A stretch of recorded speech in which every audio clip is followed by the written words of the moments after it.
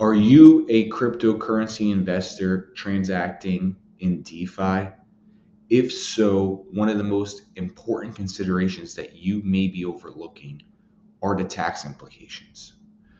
Decentralized finance is one of the most complicated areas when it comes to taxes and accounting because of the decentralized and peer to peer nature of it in the flow of funds of a lot of the on-chain transactions. It can make the accounting difficult, and sometimes it can make the tax treatment of certain transactions unclear. And that's what I want to go over today in this video. So again, DeFi is a paradigm shift in the world of finance, and you as a sophisticated investor are participating in this, but there's a lot of nuance to the transactions from a tax and accounting perspective. So let's get into it. Let's go over some of those intricacies. Now, if you have a specific tax question that I don't cover in this video, comment below and I'd be happy to go over it in a subsequent video or just by responding to your comment. So why is it important to understand the tax implications related to DeFi? There's a few different reasons. First is you need to be in compliance with the IRS. You don't want them knocking on your door undergoing an audit, getting hit with unexpected taxes, interest, and penalties because you took a wrong tax position or because you accounted for your DeFi activity incorrectly. Secondly, financial planning.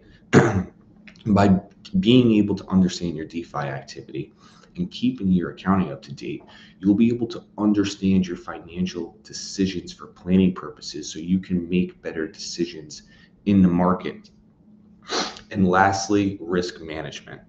By understanding your DeFi positions, you can see where you have risk concentrated within your portfolio. And again, you can start to make better decisions on how you should allocate your resources and manage your positions. Now, one overarching issue when it comes to these DeFi transactions is that for certain types of transactions, we don't have clear guidance yet from the IRS. We're working with existing existing general guidance that they've given related to cryptocurrency. And then oftentimes we have to apply that to specific defi transactions. So keep this in mind when you're watching this video but also keep this in mind if you're speaking to a cpa or to a friend that's telling you about a tax position. You want to make sure that you scrutinize that position and you understand the reasoning reasoning and logic behind that so let's get into some of the different types of DeFi transactions and some of the related tax implications. First, we have lending and borrowing. So this is when you go to a DeFi platform and it lets you as the user lend their crypto assets to earn interest or to borrow assets in order to take those assets and use them for another purpose. So when you're lending, any interest that you earn from lending is usually going to be treated as ordinary income, and that'll be taxed at your marginal rate. When you receive that income, it also sets your cost basis in that asset. So if you sell it at a later date, you can also have also have a capital gains exposure. So the the income for lending is going to be taxable when you receive that income when it's earned not when it's withdrawn on the platform. So you can't just leave it there to to to um, defer the income. Similarly, borrowing usually isn't going to be a taxable event with some exceptions.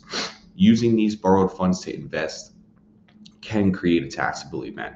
Similarly, if you put up one asset for collateral and then you borrow, and then when you return the principal that you borrowed, they give you another asset in return, that can potentially be viewed as a swap because ultimately you've given one asset and you've received another, even if th- there was a time period that has elapsed. So that is another thing. If you are borrowing from a platform, you want to be very careful in considering what asset are they going to use to return your collateral? Is it going to be the same asset? Is it going to be a different asset?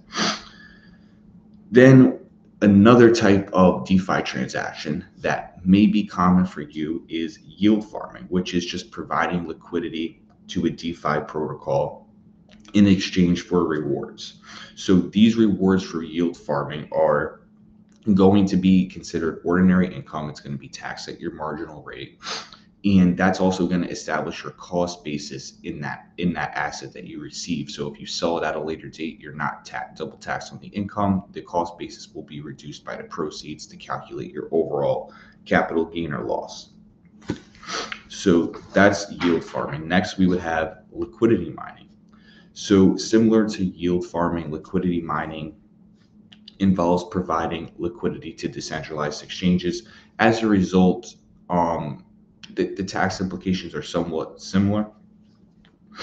For rewards, they're going to be treated as ordinary income at your marginal rates, and that's going to also establish your cost basis in that asset if you do sell it at a later date.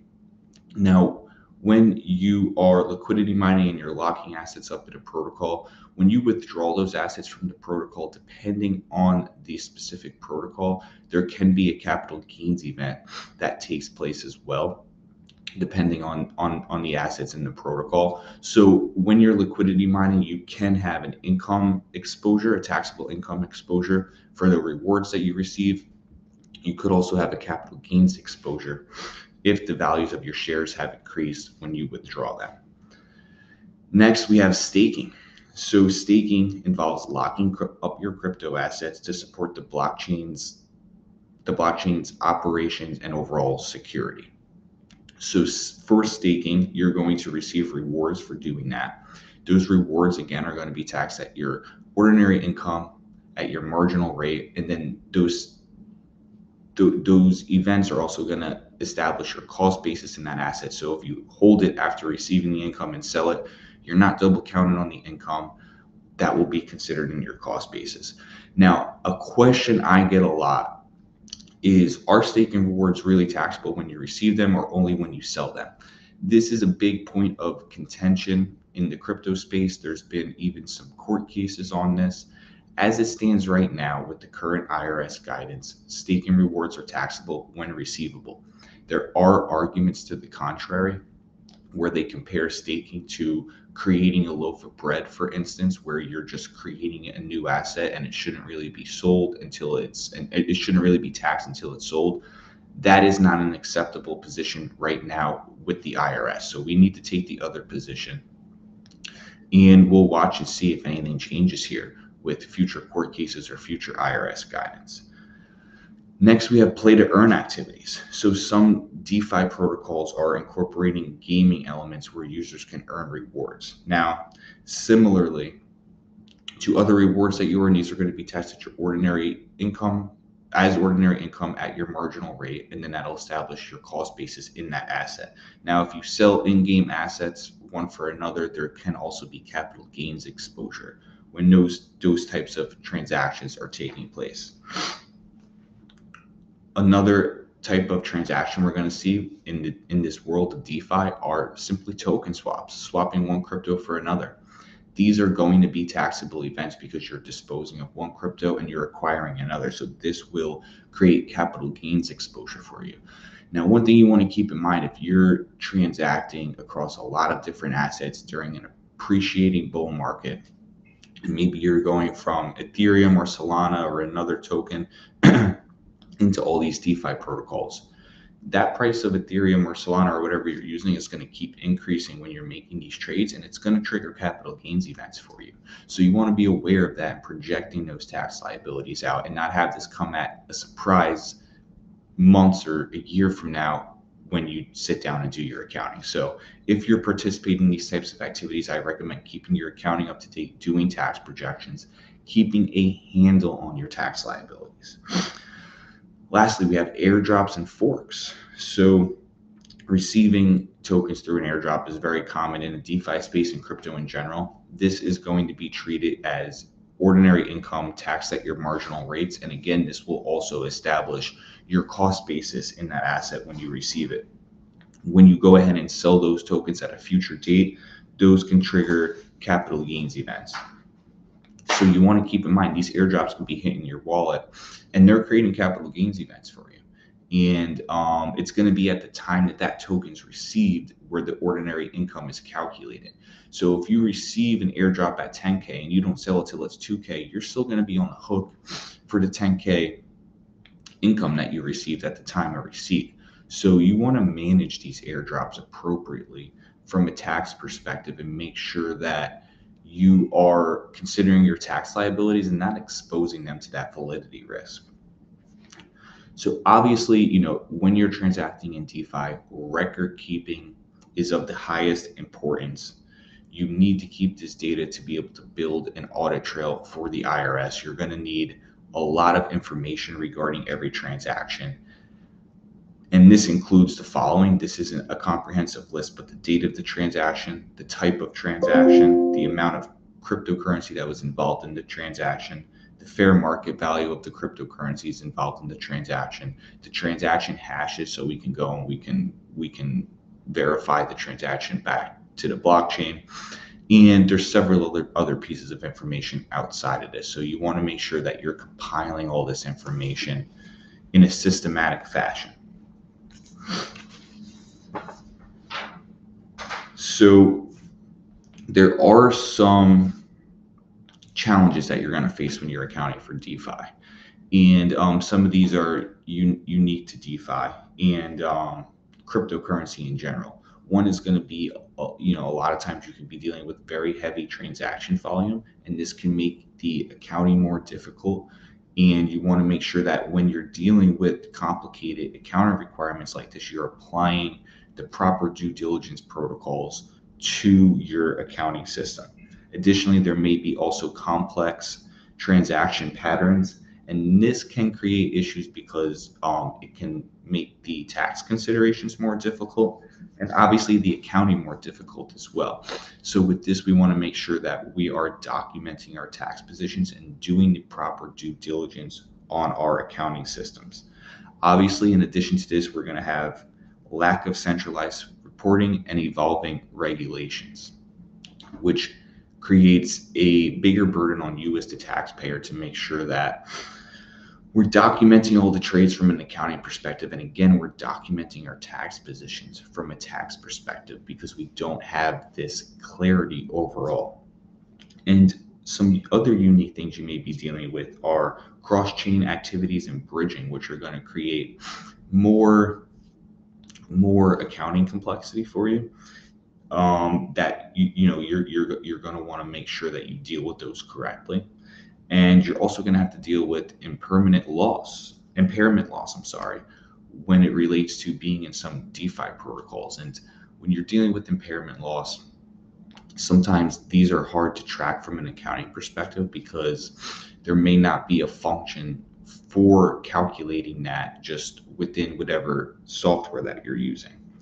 So, um, and another thing is when you're receiving these airdrops and forks, a lot of times it's not it's not that easy to find a fair market value for them and assign that to these airdrops. So that is another consideration and another challenge when you're when you're accounting and doing the tax considerations related to DeFi. So how can you mitigate some of these? Obviously, we need to keep detailed records. We need to have a strong due diligence process for our accounting process to ensure accuracy. What I recommend is before you engage with a DeFi protocol, reach out to a CPA like Camuso CPA and sit down with them and make sure that you understand the tax implications to transacting in these protocols before you transact so there's no tax surprises. Additionally, keeping your accounting updated regularly can go a long way to the quality of your accounting waiting once a year or even longer to update your accounting can create a nightmare for you when you finally sit down to do your accounting, especially if we have to go and create the accounting for a lot of complex DeFi protocols. The more fresh in your mind that these transactions are, the better. When you're dealing with issues from a tax perspective where the tax situations aren't fully clear, you should be more conservative in the positions that you take and you should create contemporaneous documentation related to those tax positions that delineate your logic and reasoning reasoning because this will help in the event of an audit. Another important thing is not exposing your tax payments to validity risk. What I mean by that is if you keep your accounting up to date and you do tax projections, you can know the taxable events that you've triggered year to date within your portfolio and you don't want to keep those tax liabilities that you're going to pay within your portfolio because then they're exposed to validity risk. The price of your the value of your portfolio can drop when you have to pay your taxes. So you should at least be tracking your portfolio and placing aside your projected tax liabilities in USD, in USDC, in a stable coin, or even making estimated payments to the IRS. So, you know, those are some of the tips that I would give when you're designing an accounting and tax system for DeFi. And also, you know, some of the most common transactions that I see with my clients at Camuso CPA.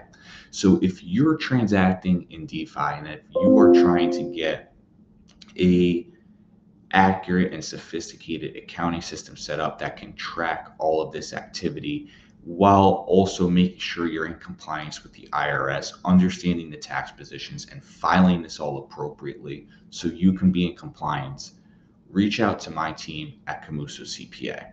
We are one of the best and one of the first CPAs that are in this space. We've been serving cryptocurrency investors and Web3 businesses since 2016, regardless of the complexity of your accounting or tax requirements related to cryptocurrency and DeFi we will be able to assist you.